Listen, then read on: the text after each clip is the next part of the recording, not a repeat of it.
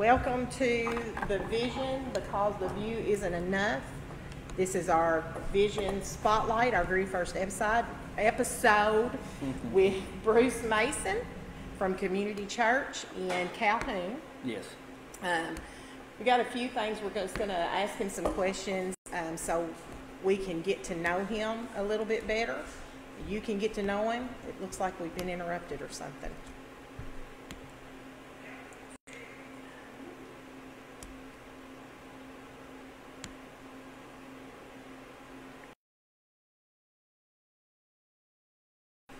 All right, so you can get to know him a little bit better if you don't know him. Um, there he goes. I'm gonna turn my volume down. All right, we got six people on here already. We'll give them a little bit of time to get on here because most of the time when we have the first six, it's usually all of us here. so I am gonna go ahead, uh, Bruce, and share it to your page. Okay. Hang with us.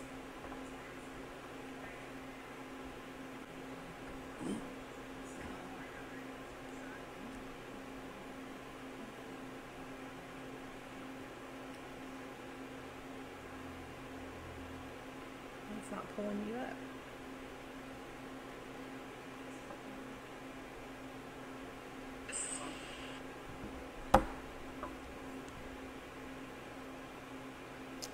Julie's on. Julie Shutt is watching. Mhm. We got one besides just us. Tanya Randolph Basham, where you at? You're supposed to be here. Thanks See her go on there and, and share it to his page. You know more about that than I do. Okay, so we're gonna go ahead and get started. Um, I want Bruce to tell us, I asked him before we started how long he'd been in the ministry and he told me twenty years. And so one of the questions that I asked him was, I know that things have changed as far as worship over that twenty years. And so I just want him to go ahead and, I want to introduce him, Bruce Mason. He's got a wife that he's been married to for how long? Just said this 1990 other to 23 day. years. Okay, her name's Dana. Yes. I've not had the privilege of actually meeting her Oh, face to she's a face, sweetie. but I will say this. She's amazing. From everything that he says on Facebook about her, she is an Yeah. amazing woman. Absolutely. And um, you can tell that she has to be because he, seriously, she he brags on her all the time, and I Yeah. think that's awesome. Yeah. He posted something the other day. She was working at the Gardening church, I somewhere. think, gardening, and he posted. Yeah. This is what he. This is the treasure he has, or something like that. And I thought that is awesome. John wouldn't never say that about me, but but I thought that was awesome. That they've been married for 23 years. Yes. And how many kids do you have? Three. Three kids. Boys, girls. Two girls and one boy. Oh my goodness! And do you have grandbaby? I know you got Yeah. grandbabies. Two girls and one boy. I was gonna um, do a little bit of spying on your Facebook, but I thought, well, I'll just wait That's and ask right. him. I'll just wait and ask him. But I see you post pictures about your grandbabies, so Yes. I know I know you got grandbabies, and they say you love grandbabies more than you do your kids. I don't know if that yeah, makes a difference. I think that comes with maturity. I don't have any grandbabies yet. I'm waiting for Sierra, God to send Sierra her Prince Charming, and she's gonna have me some grandbabies. But I'd like for you to just kind of tell us your journey, um, even when you first got to know the Lord, and when your call, when He made that call on your life, and what that was like. Well, uh, again, Ray, I, being a military child, we, we moved a lot.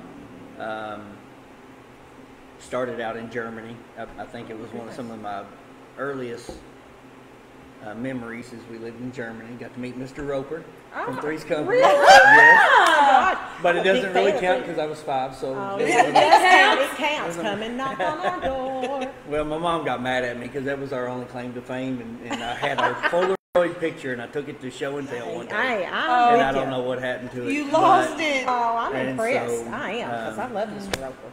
But uh, so we moved around a lot, and um, a lot of the time is bouncing back and forth between Ohio County, McLean County, and Muhlenberg County. Okay. And uh, so most of uh, my my childhood, uh, our church was mom reading the Bible to us, and then um, around 13 or so, we got we moved back to uh, Livermore and, and we joined a church there, and and that's where I felt like I was called.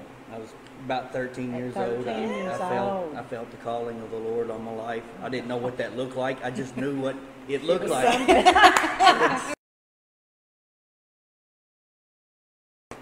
um, if I'd have known ministry was more than standing behind the pulpit Come on. talking, I probably wouldn't have pursued it. Um, Hey, yeah, Because as soon as you say yes, hell takes notice. that's right, that's And, right, I um, agree. So, Yeah. um, Amen.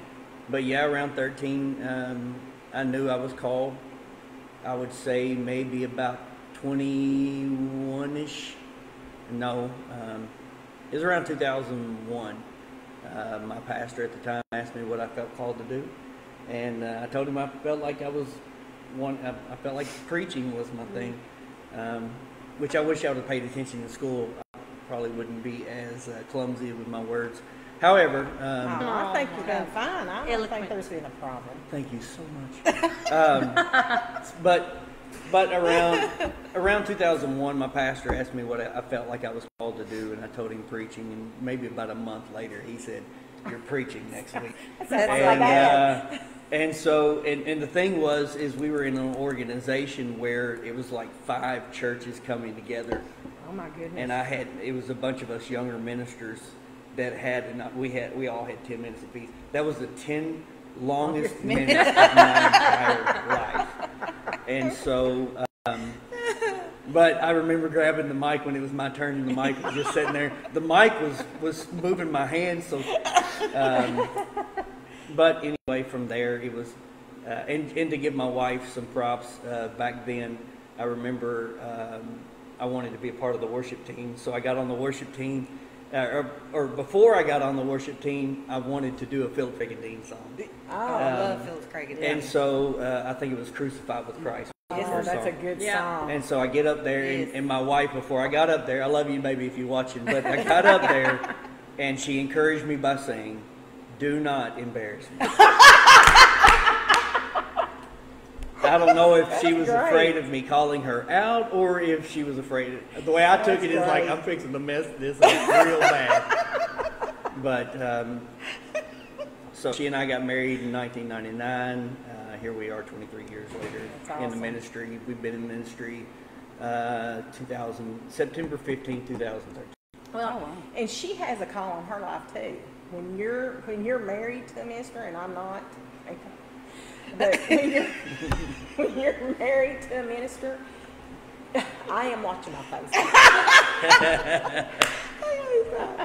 when you're married to a minister, you're part of that ministry Yeah. automatically. I mean, that's just you're part of it. You deal with the same issues that they do, and a lot of times, I know from being a pastor's daughter that a lot of times, you know, if I'd had a different pastor, I might have responded different, you know, mm-hmm. because that was my dad too. Yeah. So Yeah. at times in the church, you didn't really have a dad. You had just a pastor, and you kind of got not necessarily pushed to the side, but you were you felt second and in the background. Yeah. Absolutely. A lot Yeah. of times, and more was expected, I think. And that's why I applaud my wife so much and my kids because they sacrifice more than I do. And not only that, but that's one of the reasons why I I praise it Yeah. that I give her. You know, God, giving honor where honor is due. That's right. Is because she does so much behind the scenes. Yeah. That she That- may not get recognized. That basically is is while she's doing all this work behind the scenes, she's basically just turning the camera to me. Yeah. that's Y'all gonna get me emotional. No, that's good. Hey, that's, I got that's chills. being- That's Holy And so- yeah, and so it's- that's being blessed. It- and it's and it is. understanding. And that. again, that's giving honor to our team as well. Yeah. Because I, I see I see church as like a baseball game. Mm. Uh, you get you get the pitcher. They they call it a no hit. Uh, uh, uh, no hit. no hitter. No hitter. Th- Thank you. They call it a no hitter. The pitcher throws the ball, but the team done all the work.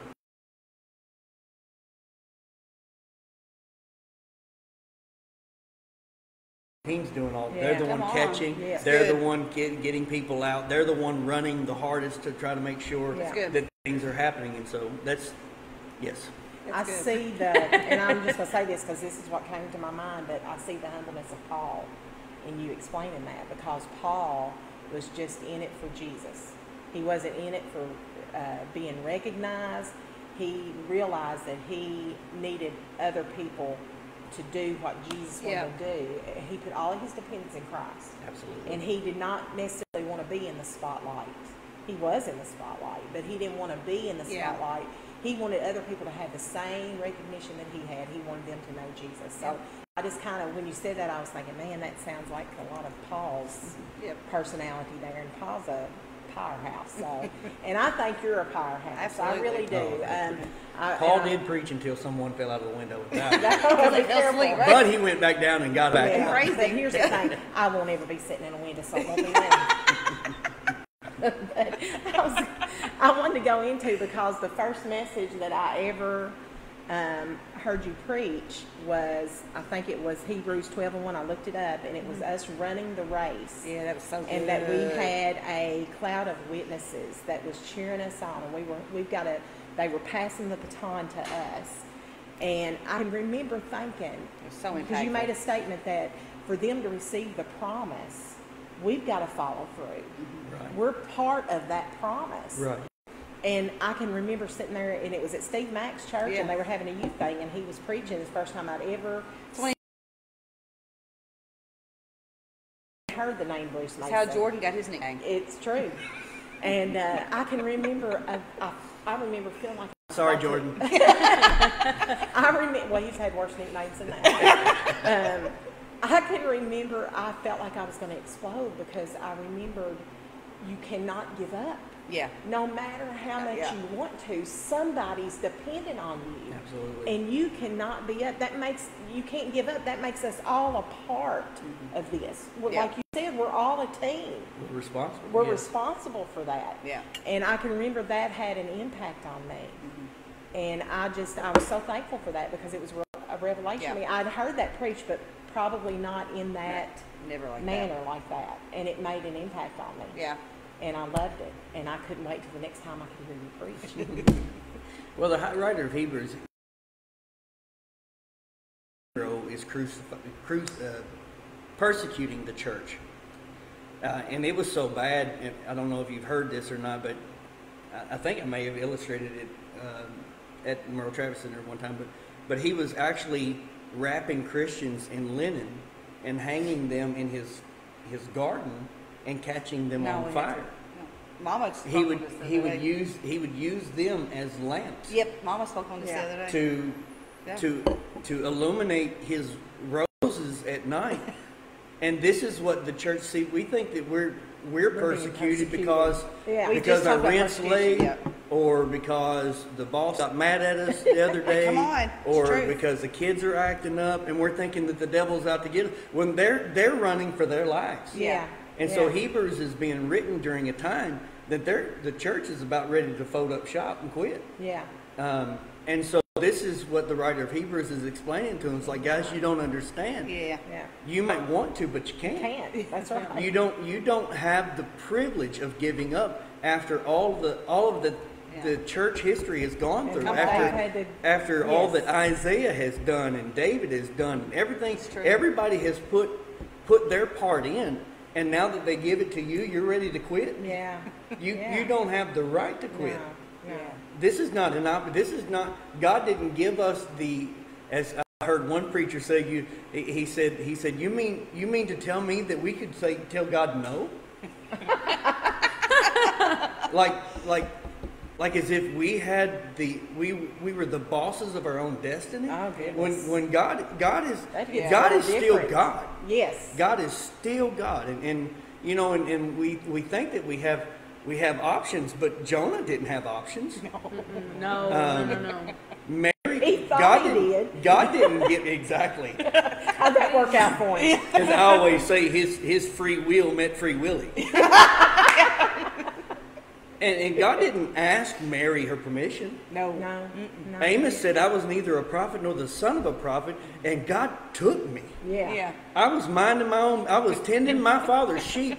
God showed up and took me. Yeah. Yeah. He didn't say, Yeah. "Is it all right? Are you good with this? Elijah comes up behind Elisha, smacks Elisha with the mantle. And and it's like Elijah didn't even have a choice. This is n- now that that that power I feel uh, that that anointing fell on him right there at that moment, and he he grabbed his mule, sacrificed his mule right Yeah. there on the plow, and said, "Let's go." Let's go. Yeah. And Jesus said, "Once you put your hand to the plow, don't turn You back. don't look back, that's right. There's no quitting's not an option. It's not Where option. else would we go? Yeah, that's that That's exactly what That Peter is, said. Where would I go? You have the words of life. Yeah, It's true. yeah. Yeah. Yeah, That's good absolutely. stuff. stuff, That's yeah. good stuff. See, I knew Even when was it, even when. I don't That's good stuff. understand, and even when it gets hard, where else am I going to go? That's it, I, and I think that you've said this before. There, it's, I've seen too much, and I've felt too much, and I know too much Yeah. to ever even what it looks like. And our family, you know, you, we've all been through so much, but there's no other option. If we don't have him, we really would be up the creek. We don't have nothing. I've said a lot in situations, if God can't fix it, I mm. can't do anything about it. So my only option is to trust Him and Yeah. walk with Him and understand that my faith and my ability is only in Yeah. Him. Absolutely. And if I can't put my trust in Him, then I'm already doomed. Yep. Absolutely. So if He can't do it, nobody can. Amen. It's true. I mean, that's an old cheer Yeah. at basketball games, but but that's the truth. Yeah. They have If a- he ca- if- They have a when we song now that realize- says, "If God don't do it, it just won't get done." Well, that's the truth. That's the truth. We need to believe that. I think that's, Yeah. I think that's an issue, and we'll get into the church and maybe some discipleship of what is the church lacking in today's society. What are we missing? We're missing some things, um, and a lot of it is understanding the righteousness. Understanding that if, if we do not put faith in Him and the redemptive work of Calvary, with our Yeah. faith. We have to believe that He is. Well, see, I, th- I think, and I, I don't mean to cut you off. No, no. you, that's I fine. think I Be think where where we go wrong is we're spending so much time trying to be saved Come on. that we don't put any time in in being the church. Oh, that's good. We talked And so about a whole entire time we're begging God, please, please forgive me, please forgive me, please Come forgive on. me, please forgive me, please forgive me. And God said, obedience Oh is my better than gosh, sacrifice. that's Would you please good. get up and do what I called you to do? Yes. That's it. Yeah. Because everything that the en- every time that the enemy brings something against us, It's true. Yep. Good stuff. the enemy doesn't come against Bruce. Come on. He comes against why What's Bruce in. is here. Yeah. yeah, yeah. What's And in. so he's he's all, he he attacks. Yeah. He tries to get you um, distracted Yep, with trying to be saved, yep. trying to be good enough. Come on. You'll never be good enough. No. Nobody will ever be good Nope. enough. That's the reason. If Jesus, if, if we could have been good enough, God could have crucified somebody other than Jesus. Right. And that's what I told everybody. If you think you're all that in a bag of chips, you're you're you're thank you should be thankful that God didn't put you on the cross. Yeah. Yeah. And so anyway, uh, sorry about that. I, I had a had an episode. I'm back. I'm back. Um, but and so the enemy the enemy is just trying to stop God in you Yes. Yeah. because okay, so, true. God God gave man dominion over the earth. Yep. Um, God told them, "Be fruitful, multiply, uh, subdue the earth, uh, have dominion, and subdue the earth." Dominion, and- and God's gifts and callings are without repentance. Yep. And so God, God, God, on the day of Pentecost, God poured Himself out on on the church because God Yes. are in the earth, but He gave man dominion. Dominion, that's right. So he had he gets in you, so he can do what he needs to do in the mm. earth because you have dominion. That's Yeah. good. Because That's once a king makes a decree, Yeah. Yeah, degree. It's Can't done be- with degree. it's done. He can't change it. Exactly. But he So can he make a had- loophole. But he can't. But he can provide. But he can provide. There is the ram in the But bush. that's the truth, and I've never looked at that. That is so good. So Yeah. so what we're what our job is of, of the church is to go and preach the gospel into all the world. It's the Great Commission. Yeah. Be make disciples. What is what does discipleship look like? And and someone had sent me the question about discipleship. What what what do we need to do? How to? I, I don't think I don't think necessarily that we need to disciple more people to know more about the Bible because we have more access to the Word on. than at any Ever, time yes. in history Yeah. ever. We're we're good at knowing, but we're terrible at doing. Doing, yeah. And and we're not we we go to church, but we ain't being it. Come on. Oh, that's good. That's my that's my, my Nelson Creek just came out right there.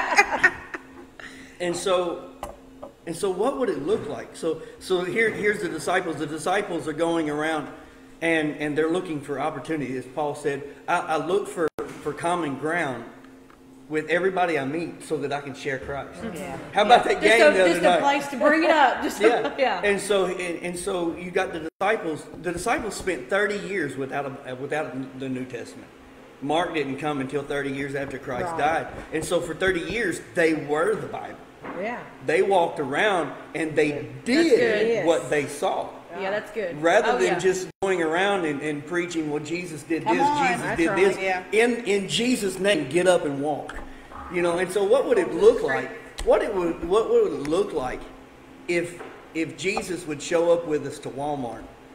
And we're we're we're picking up. We thought we went there uh, for a sale on meat, and then there was somebody standing there who who is devastated and broke down, and they're there for the sale on meat too. But God is making having time and chance collide. Yep. And so there's something that you Yep. strike up that conversation, and all of a sudden God begins to minister Yeah. at that moment. What what would happen if we get down to Walmart and somebody comes out of a wheelchair? Oh, yeah. What would happen? Because God, God, every every God is giving us opportunities to minister every day of our life, going to work, whatever it is. Yeah. We are ambassadors of Christ. yes. No matter what, and, and, and if you're and if you're an ambassador, you're at work, you're getting paid to be an ambassador of Christ. How good is that? You think you're? And, and, I- I'm going on. I'm sorry. No, no, Go no, no, ahead. no, Go no, That's good no, stuff. no, no. It's good stuff. There's a, yeah, there's a, it's feeding me. Like Yeah. I, I I'm Yeah. thinking I'm going to Walmart I'm- I'm, I'm like- if somebody's there for the meat that's on sale, and I'm just telling about Jesus. Bring I'm going to sis, work bring it. tomorrow. I- yeah, I'm gonna tell everybody. What if everything wait we did was on purpose to glorify God? Absolutely, because you are purpose. That's right. You're Stacy, That's right. There but you're a nobody word like from. God. And I think what it is is what That's we right. and like you said, we get caught up in trying so hard to be saved, so that we do instead of just being what we already are, and then out of that being we do. Because Christ already paid the price. Mm-hmm. Yeah. Yes, we're going to make mistakes, but that's what the blood's for. Yeah. And it's not to take Sing that advantage. song. That's not to take advantage of God's blood. Yeah. But the blood is there in case we make a mistake. God didn't. God. God knew we was going to mess up after the cross. Yeah. He knew we was, and so God poured the blood out, and and so. But but the point is, we're saved. Now do something with it. Yeah. Rather than rather than just sitting back and begging God, please God, please God, forgive me. And and and you know the enemy is like, it's cool. We don't have to mess with them right now because they're tore up, thinking thinking that any second Yeah. now they're going to hell. That's Yeah. right. When when Jesus died on the cross, the, the power of the cross is a whole lot more is more powerful than we give it credit Yes. We just talked about that Tuesday night that we underestimate the blood of Jesus. Absolutely. And what it did Yeah. for us and what it caused us to be from Yes. for. that. And so we handcuff ourselves trying to own the deed to our own salvation. Ooh. But Jesus has got That's that good. deed. I We gotta can't write have That's good. We can't have the deed. Jesus he paid, paid for for it. it. He's the one that bought it. He That's keeps the true. deed. That's good. And so we're here. We are begging God, forgive us, God, forgive us, God, forgive. us. He said, "I've already forgiven you. Would you please do what I asked you to do?" Yes. Well, Dan Mohler, I watched a video yesterday of that Dan Mohler. I don't know if you know who that is. But he's real good. It's a bomb deed. Um, but he talked about how it's the the way that seems right to a man. It means well, if this is what we feel we think is right, if we feel guilty and we feel that way, that seems right to us because of what we've done and what we've experienced. And so what happens is we believe that lie, and then the just left my head. Just every bit of it just left my head. It's okay. I know. And then the enemy comes right back and says, Shame "I told you." together. Yeah. He, he's we the believe he, accuser. he accuses us And then- and we believe it and then our fruit shows what we believe or how we've believed because as a man thinks Your so shall he be live. Absolutely. Your and then our fruit reveals what we you produce that fruit and then we're accused again, and it's just a never-ending And that's cycle. what he does. He, Yeah. he accuses us. What he does is he tempts us or he puts in us in the position to fail. And we Mm-hmm. allow that, but then he becomes the accuser of what he's used against us. Right. That's what he does. And then we lose who we are in Christ when he does that. Yep. At some point, we have to recognize who we are. It's the identity of who Yep. And when we realize that, then everything else, the discipleship, the it comes.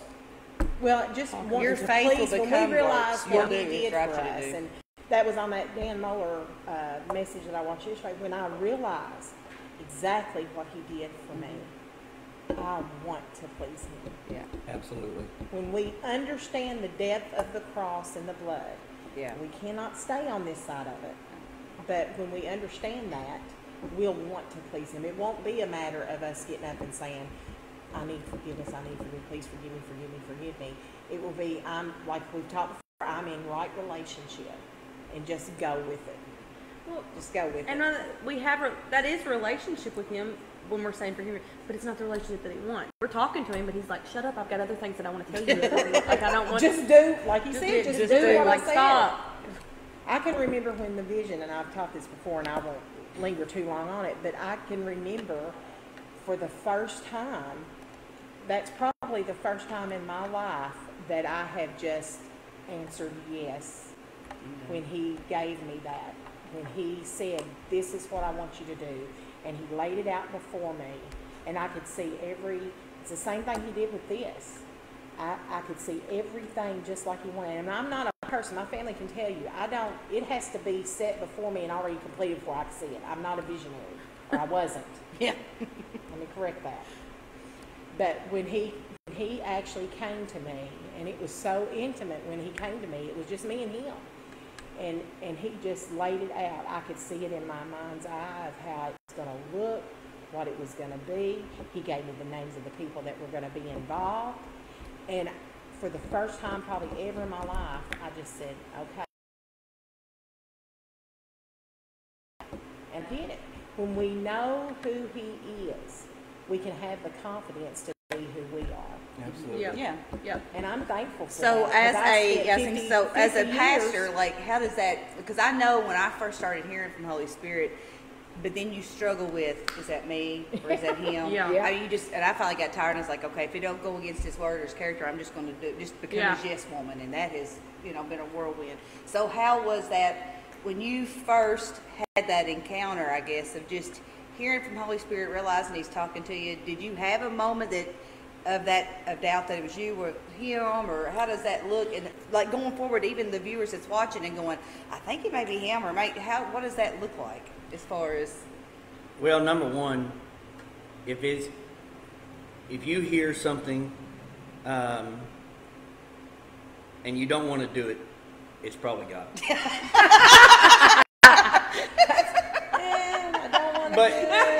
But initially, there was that, there was that excitement and that that uh, that passion, that that run, that that drive until you got there, Yeah. and then the nerves set in, and then you're like, then you start questioning, and that's that's the beautiful thing of God's grace because Yeah. when you question, you're basically saying, God's not, I'm not enough, yeah and then God said, that's cool because I am. Yeah. Yeah, yeah, yeah. And that's that's what I Yeah. told our church the other day is Yeah, is good. God is we all, and you've all heard it said before if God used perfect people he wouldn't have anybody to use.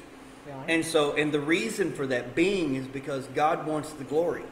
Yeah. And if if I can go out there and do it all in and of myself then Yeah. God doesn't That's right. e- even even the son Jesus Christ himself he said don't pay attention to Yeah. me. yeah The words that I speak I speak not of myself but the Father who dwells in me That's he right. does the works. Right. yeah And so it's Mm-hmm. always trying to point back to God. I don't believe that Samson was ripped and had uh, biceps and triceps and, and a six pack or eight pack. Or I, I think Barney, he looked more like Barney Fife. I think he was so strong. yeah And why do I uh, why do I say that? I say that because they said, "What's the source of your strength?" they didn't Oh, know that's true. If he Yeah. was ripped, they They would have never know. asked him the right. question. yeah they would have I known never thought about that. And so, and that's the point. Yeah. In, in Jesus, Paul said, "I prayed three times take to get rid of this thing. And God said, My grace is sufficient for you. Most gladly will I glory in my infirmities, for when I am weak, then I am Yeah. strong. Yeah. And so, in other words, what Paul is saying, Paul is saying in that situation, it, they'll see me in all of my frailty and know that everything that happens Mm-hmm. wasn't me. Yeah. And so that's that's the beautiful Yeah, thing yeah, about it, it's because it, and that's why I that's why I said yes when you said because I always got to say it's not me, it's not me, it's not me. I don't have to be good. He's good He's already. good, that's Yeah. right. And so That's good. I think that's with any of us. If we ever get within ourselves and think we got it, yeah, we're headed for. You're in falling. trouble, you That's know? right, you're in trouble. Proverbs tells us Yeah, that. you're gonna fall down on your face. And Reinhard Bonnke said, God God comforts the afflicted and then afflicts the comforted. don't get too comfortable because God don't want you there. Amen. Oh my gosh. Amen. I think we've answered. Does anybody else? We got uh, Terry and Peggy just came in, and we got Carol and Marianne over there on the couch. Do y'all have any questions? Something I that won't keep her. me up, but very delicious. I told him that was anything. I told him that was anything. Yep. I told you I might have decaf. Just some decaf caramel something. They can do it. They can do it. It's good stuff. I stuff. don't Um, know if Chris Chris texted me. I don't know if he wanted to say it out loud or what, but it, it seemed like it was a good thing. He said, "A man or a woman with an encounter is not at the mercy of one with an argument." Say that again. A man or a woman with an encounter is not at the mercy of one That's with Chris an argument. Hello, Chris. Hey, Chris. Hey, Pastor. That's good. Uh, let's see. There was, oh, Carol wanted you to go a little bit deeper into the message on uh, the puzzle pieces. And what that looked like for the unity of churches or something like the body of Christ, wasn't it? How was that, Mama? she just said she'd like for him to Oh, the- expand I a little bit on trusting God with the pieces. Oh, I don't It- know how much more you could expand on It's, that. That it's night. so easy to say, but not so easy to do.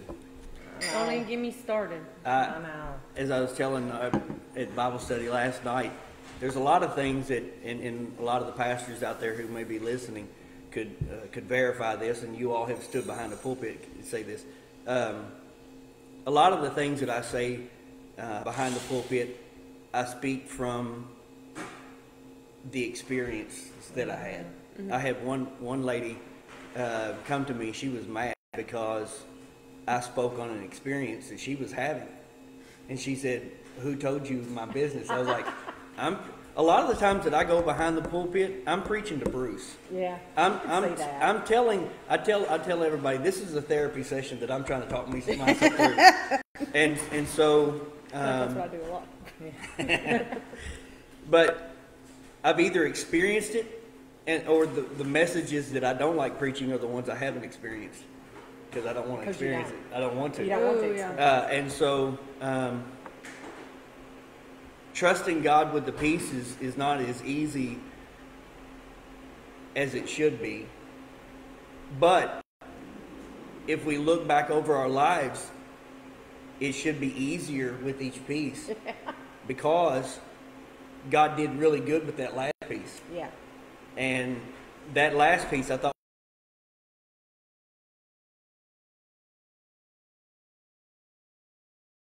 You feel like this piece is going to kill you.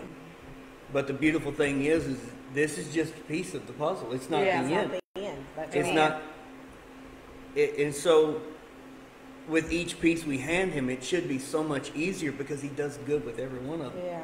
And every time, and, and not only that, but it's the beauty for ashes situation. Absolutely. Like, where Yep. you think, where you think that this is, as Job, you know, my, I'm, I'm chasing a rabbit. go for it. Where Go did, on. where did Job get his ashes from? Every morning, Job got up and sacrificed for his kids. Hmm. And when he, when when when they came and God took his herds, the wind blew and killed his family. Job went and sat in his sacrifice. This is, uh, Yeah. this is this is my relationship. This is all I've given to you. This is all I've ever known. I've loved you with everything that I have, and God gave him beauty for his ashes. Yeah. Yeah, that's Yeah. good. And so That's good. the the longer we live, it should be so much. It should be. So again, here I am. I'm saying Yeah, something. I know, but I'm, you know, why can't we grasp that though? I mean, why is it so hard for us to grasp? I know how far He's brought me in my life. Mm-hmm. I know the miracles that He's performed. I know the things that He's put together in my life and the things that He's done for me. Why is it still hard sometimes to trust in that? Because I found Him faithful every single Every time. time. So, what is it that I'm lacking? Is it the eyes that I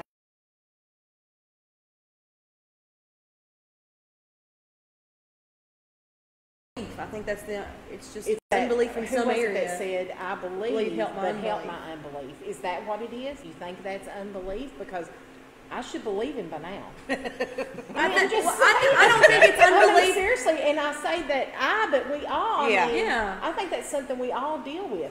We we are good, and then let something happen, Yeah. and we go right back to that. God, I think we take, I don't I think think we we take doubt our that eye off Jesus. I don't think that we 12. doubt he can do it. I know he can. It's the can he- will. will he do it for me? Yeah, that's, that's a lot for That's a lot of that's the. I know It's you will, or I know you can, but will you? And to be honest with you, a lot of the times we're we're afraid, like like in a situation like you feel like you're in a in a, a season of loss, and and you're praying to not lose, and you're afraid that God's will is for you to lose. It's- Yes. I was gonna say, is it just happened in the season? Because I feel like we had like a quarter. We're like I've been here for like a lot of years. and so a lot of times we it's not that we don't trust God, it's we trust we trust Him that He's going to take it away. Yeah. Well, and I, that's what, and that's one of those things is I that was my fear is that God wants me to be miserable. It was like you want me to be miserable.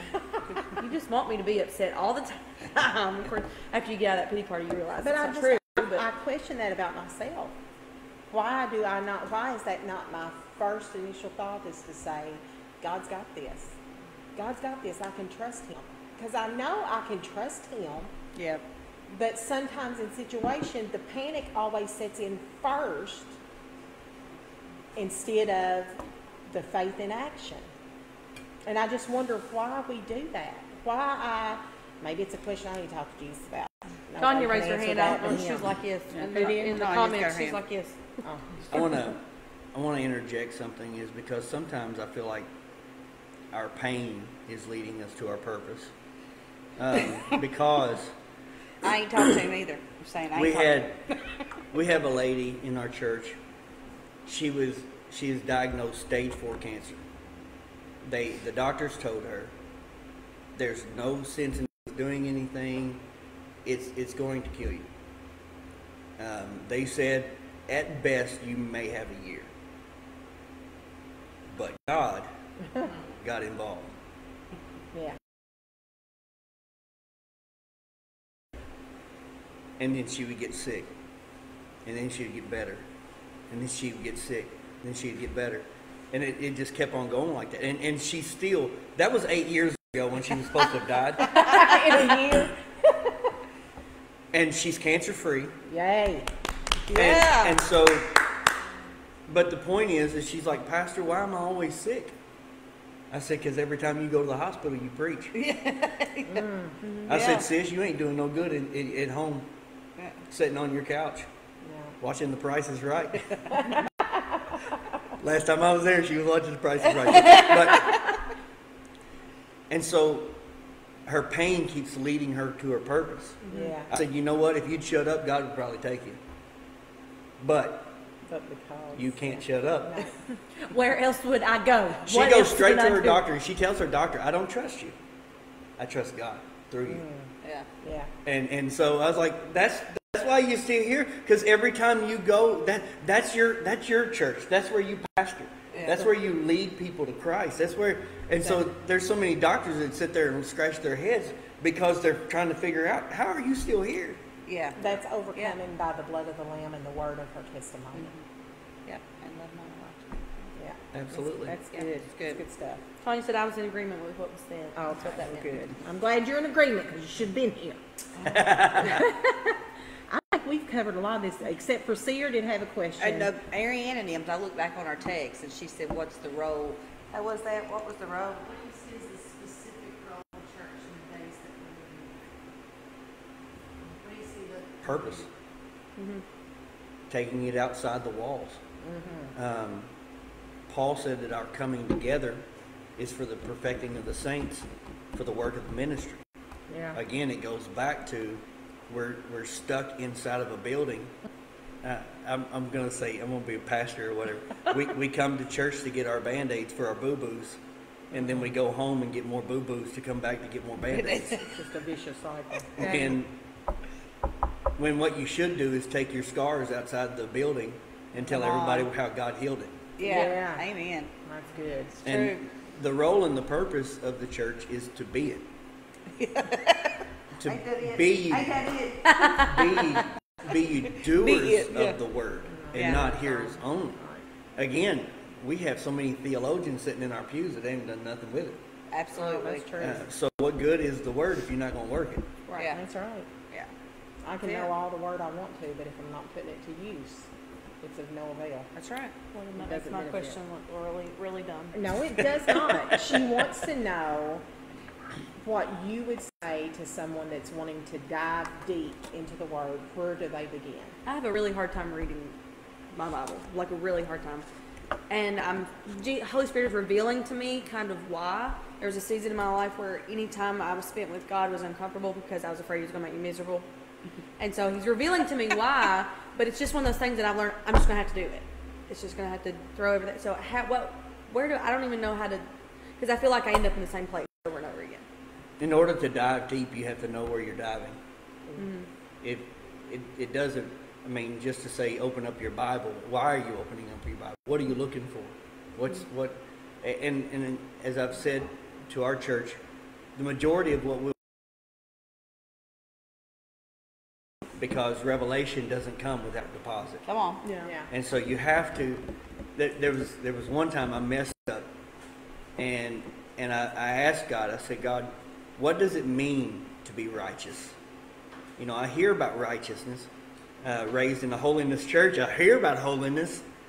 What what does it really look like? And then I, I was working at a factory in Owensboro, and and uh, something. It seemed like the machine broke down. This person's mad at me. This is going on. This is happening, and everybody. And I was just so frustrated. I remember busting. I was going. I was going to lunch, and I, I slammed open the double doors, and God said, "Blessed are the peacemakers." Oh, I said, now is not the time, Jesus. Now is not the time. And I remembered that person that was being mean to me for whatever reason. I don't know why they were they were getting on to me or whatever. And God said, Blessed are those who are persecuted for my name's sake. Mm. And so that it, it's the deposit. It- I didn't I didn't I didn't, I didn't read that, that that morning, but I had had it deposited.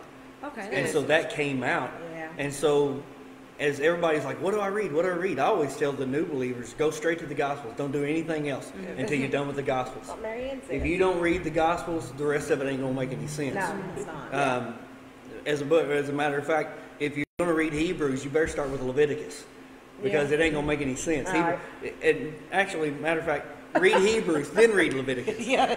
I like Hebrews. I do like Hebrew. And so I can't tell you specifically where to start.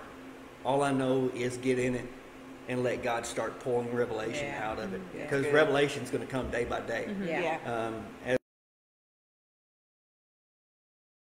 what you read. Yeah. Yeah. That's true. That's true. It's good. That's true. That's very good. Mary Ann had made the statement a long time ago, and it stuck with me. She said, if you want to know more about him, if you want to know his character, start with the four Gospels.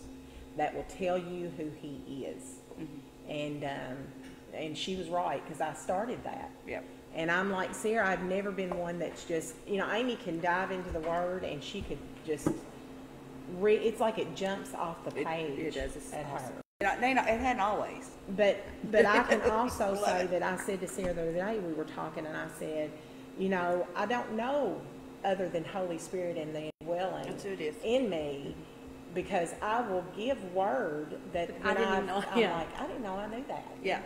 And I'm like, I gotta go back and make sure that's in there. The living- he's living in us. There was a Yeah, somewhere, yeah. that stayed with me, and I was able to give that. Yeah. You know, and I asked Jamie Clemens one time. I said, "Do you, do you it. ever say something to say, and they come back and ask you, and you're like, I don't remember saying that." Mm-hmm. He said, "Yes, you will do that because it's not you speaking; it's Holy Mm-hmm. Spirit speaking." Absolutely. So you just go with that Yeah. and let that flow. And I'm learning. Mm-hmm. I am learning at 52 years old. I'm learning. I've been saved since I was nine years Yep. old, but not always had relationship with Jesus and, and understand that Holy Spirit, what He wants to do in our lives and what He wants us to present to other people. So, anybody else have any questions? I think that could. We're going back to that relationship of the change in worship. Yes. Yes. Um, worship, uh, and, and I know what you're what you're getting at. Um, in in the many years that I've been there, I've went through the hymns, I've went through the 2000s, and, and on and on and on. Mm-hmm. But um, the music has changed, the the style has changed, The message is the same. but but the worship is is been consistent all the way Yeah. from the time that God breathed into Adam's because worship is is a relationship. We call it a worship service, but not everybody's worshiping. That's right. They might be clapping, they might be singing with along Yeah. with the lyrics, Yeah. but worship is when you pour yourself out yeah. and you open yourself up. Um, you know, and and, and I I just want to I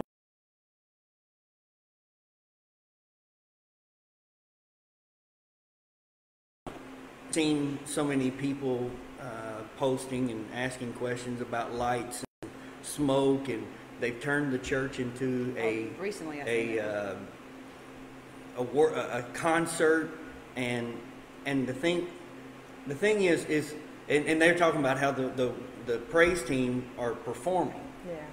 now there might be somebody on the team that's performing That's right.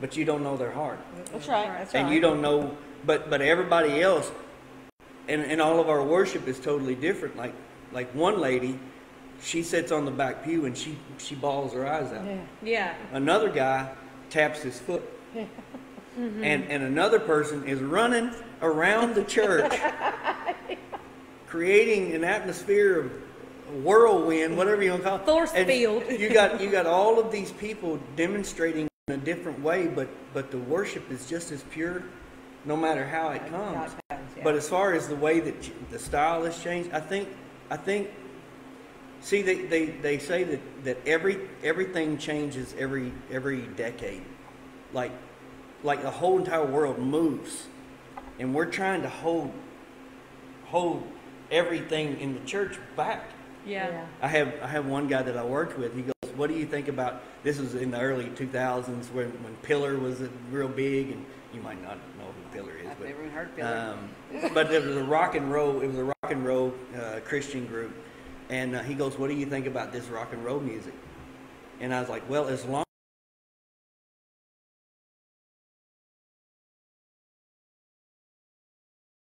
And, and so I think that's one thing that we need to understand. It's not being seeker sensitive, but being aware. You're, you're pulling, you're, you're trying to get them out of a hell and set them down and say, be quiet, don't move, don't breathe, stop blinking, don't do this, don't do that. You got to do this, you got to do this, you can't have this, you can't have that, you can't do that. And, and you're, you're trying to say, I'm, Yep. I'm reaching you with the gospel, but you're going to have to get it the way I'll give it to you. That's right. Yeah. You gotta do it my way. Yeah. Yeah. The way that I was saved, the way Yeah. that God did it for Yeah. me. And so, anyway, so there's, there's, a, everybody has a heart song. Everybody has a song that's ministering to what their soul is saying and what they're going mm-hmm. through, what they're dealing with. Some people might, might be absolutely, um,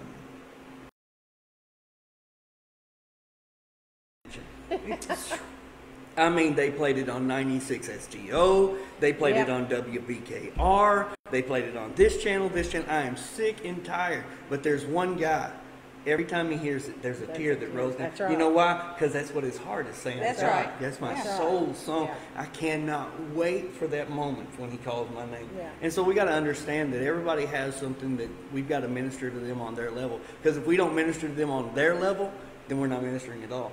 Yeah. That's right. And I think we can, I Good. was thinking, we were at a, one of the singings that they were at, and I was sitting beside my dad, and they were singing, Oh, How He Loves Us. Oh, I had And that I on can remember video. sitting there because we've had a lot of people, and my husband's one of them. He's not a contemporary, he says he's not a contemporary, he likes country gospel or southern gospel. Yeah. he's uh, grown accustomed to it and he, he's okay with it. But we were sitting there at the service and they were singing, Oh, how he loves us. And my 70, at that time, 71 year old dad, 70 He would have been no. He, it would, when we were singing, he would have been 70, 77, 78. Oh, that's right. Yeah, I was thinking about mom being mm-hmm. 72. He would, he would have been about 77, 78, and he was sitting there singing every word to that song. Yeah. And I'm thinking, at 70 something years old, Yeah. he's relating to that song. Mm-hmm. He may not can remember what medicine he's supposed to take, but he's memorized those words. Yeah. Because the, the words, the music sounds different, mm-hmm. the tempo is different than I'll Fly Away or Amazing Grace, but the message is still the same. I heard one preacher, you, you all, Yeah. Tommy Tenney's dad, T.F. Tenney. Yeah. I was listening to a uh, message that he preached. He called "The Bow in My Hand," and and it was based on how a generation of preachers were coming up, and the older generation was was offended at the style of the y- y- younger generation. And Tommy Tenney or T.F. Tenney stood up and he preached "The Bow in My Hand." He said, "I don't care what their arrow looks like." As Yeah. long as they're using the same bow. Yeah, yeah. He said Yeah. they can shoot their arrow however they want to as long That's as they're good. using the same bow. That's Yeah, good. That's good. Yeah. That's good. Yeah. I don't think we have any questions. I think we over, I overdone it. No, you didn't. absolutely not. That's so It's good. Yeah, it's real good. Everybody's watching. How do you mesh that, like pleasing or satisfying the older generation with the younger generation and their preference and how they like worship? How do you mesh that in one church service? We we attempted to start off with hymnals, and then um, roll into a more contemporary service. Um, but it's really hard if, if the older generation is not getting involved in the service. Like if, if they want if they want hymnals, and I and I, I love it all. Yeah. There's not one genre out Right. there That's that I do not like. I love it all. And so, uh, you know, I can go from rap to whatever. Don't ask me to rap, but I want to anyway. Um, but to be to be truthful, what we need, we don't need people singing songs that they're not feeling. Um, and so, if the generation that, that needs "I'll Fly Away," we need them to lead Yeah. we don't need them. We don't need them in the pews hanging out and Yes. watching because we need someone who feels that Uh, yeah. to sing it. Yeah. Yeah. That Yeah. makes a Because- whole lot of sense. Because Yeah. what good would it if you cannot stand? I'll fly, uh, if you cannot stand, I can only imagine. And It would do singing it, no yeah, good to yeah. ask you to sing it. That's right. Yeah. But what I need is someone to pour their self out. We're supposed to be leading in worship. Yeah, that's good. And so I need someone pouring themselves out because I can't follow someone who's not passionate about it. That's Right. right. That's good. And so you get you get them in there and get them involved in that worship service and let them pour themselves. And, and could you? I'm just. That's probably That's Cha- good. That's probably Chad's hearts on there. He's watching. So let them let them let them get up there. Let them lead that song. Let them Yes. pour Don't themselves force out me to play and allow that and allow the congregation to get behind that Yeah. because it, it's hard not to follow a worshiper. yeah. Right. Even Yes. if it's a song you ain't liking, you still digging their worship. Oh yeah, well, I, No, that's there's, I, I think there's many times. Me when and I Sherry was are great worshipers. I was I raised on. Southern gospel. That's the only thing that we, you know, hymnals and Southern gospel. And if I'm, if somebody, I don't always sing it, but like I can be in my car and hear it, and I'm like, yep, I love that. Yeah. But as far like I'll follow what's being, like you said, follow being led. That's really good. I like that. Yeah, that's I good. like that idea in New Life Church. Yeah. Well, case in point, it's, uh, our worship leader back years ago uh, wanted to do um, "It's Your Breath in My Life." Yeah. Yes. I heard that on the song, and I'm like, well, that's that's a good driving down the road song. and then we and then we sang it, and Oh, worship kicked in. Yes. And I'm like, my God, this is amazing. Ask Yes. Cameron about that song. Yeah. What song was it? Great are you, Lord. That's Cameron's favorite that. song to I- sing. That's one of my favorite. Yeah. Yeah. Anything else? Before we call it a night? All hearts and minds cleared. How's that? Thank you for coming. So I will, I will just throw this in here just for extra little kicks. But so my heart obviously is for unity and not conformity. It's not, I'm not trying to, we're to conform to his image and that's it. And so what is that? It's very difficult. I'll tell you that. He already knows this. You know. uh, you know, because of that, the the I guess the obstacles with that is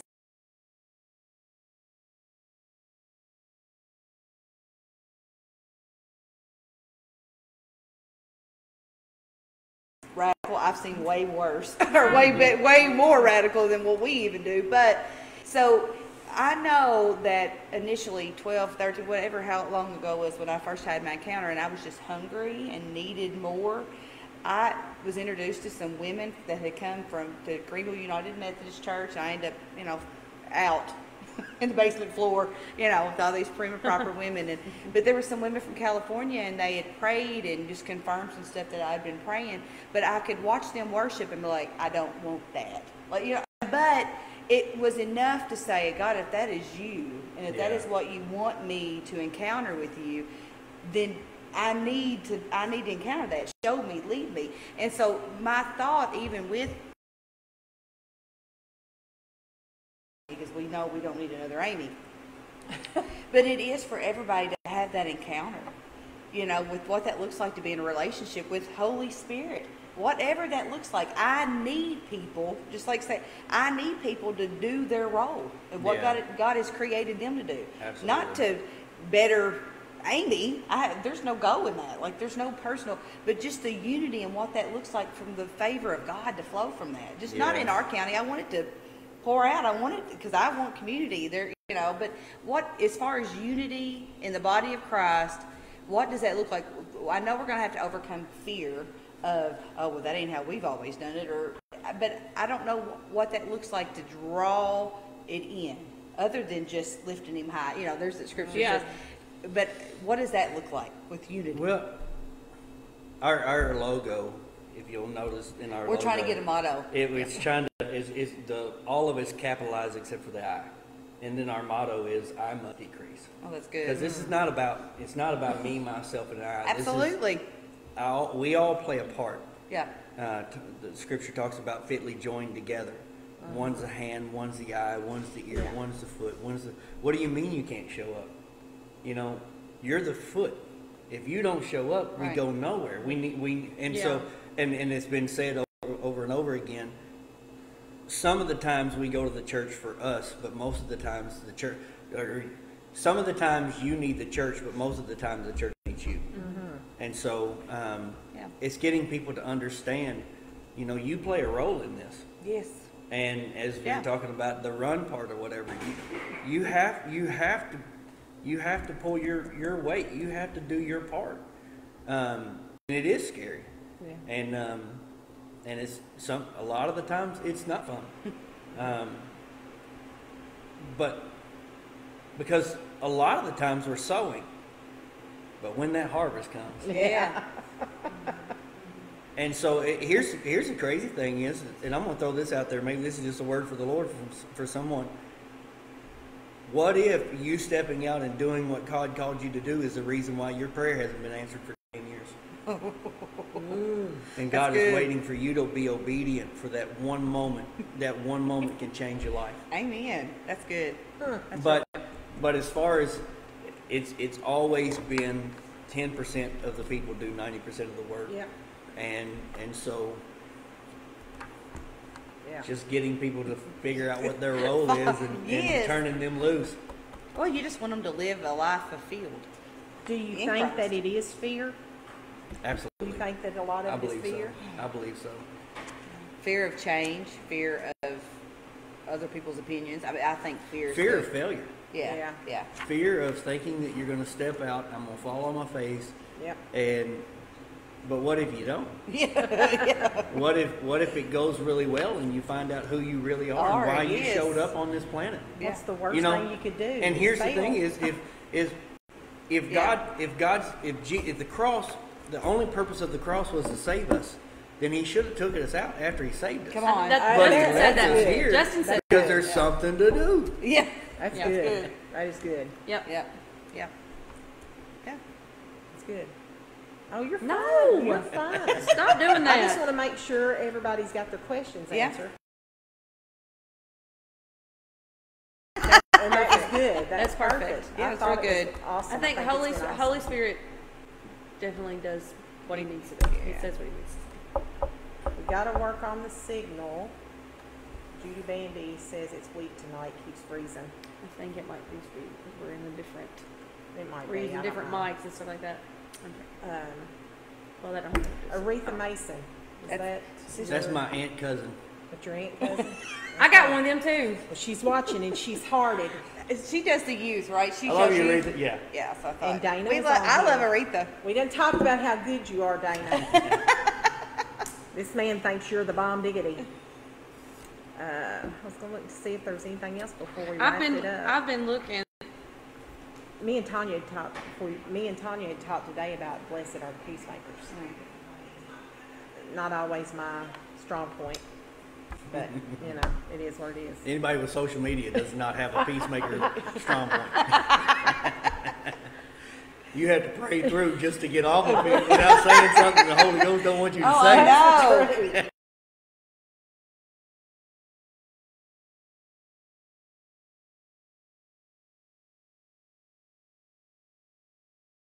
We had to switch around. We were going to have you. I think I had asked you originally to come In in, May, May, yeah. and then he had something going on tonight that he felt like he couldn't miss, and so I said, well, "I'll just see if Bruce will switch." And you so graciously said yes, even though you may have had reservations about it.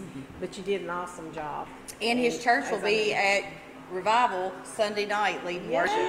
So they're the bomb. They are. They are the they bomb. are the You bomb. can hear 'em. Really This. Sunday night. That's what I was going to ask him when he Yes. first talked about being called to preach because a lot of preachers run. Doesn't sound like to me that you were running from that, but you were accepting the call that he laid on your life. I, I did until he told me I had a one week to get ready for a message for 10 minutes. I wanted to run, but I had nowhere to go. You had nowhere to go. well, I, I kind of thought you were going to say you tried to be the worship leader because I know you, you work in the worship on the worship team too. So I thought he's going to say that the Lord called him into the ministry and he tried to be a worship leader and that didn't work, and then he tried because that's the story you He hear from just, a lot just of got a dual ministers. membership. He just does both. That he just he just dove in. Yeah. So that's a good thing. I'm just going to make a few announcements. Um, the 25th, which is next Monday, will be our next Vision Live, and we will have Autumn Kuchar with us. Um, it's more like of a self-examination, I think, is what it will be. She's got a, a powerful testimony. Uh, she was in. I put this on the Facebook on Facebook. I think she was in the pit. I mean, she was in the pit, and God just reached down and just pulled her right out of all that muck and mire, set her on a solid foundation. Her and her husband Zach both. We're talking drug addiction, um, so many different things, and I'm gonna let her get into it. I, I text her and I said, "So, what are you willing to discuss?" And she said, "Whatever you want to. You know, I'm an open She's book." awesome. And she's got some things that she's been through, and it's so they don't want to miss that. You want to tune in to see that. That's the 25th at 7 p.m.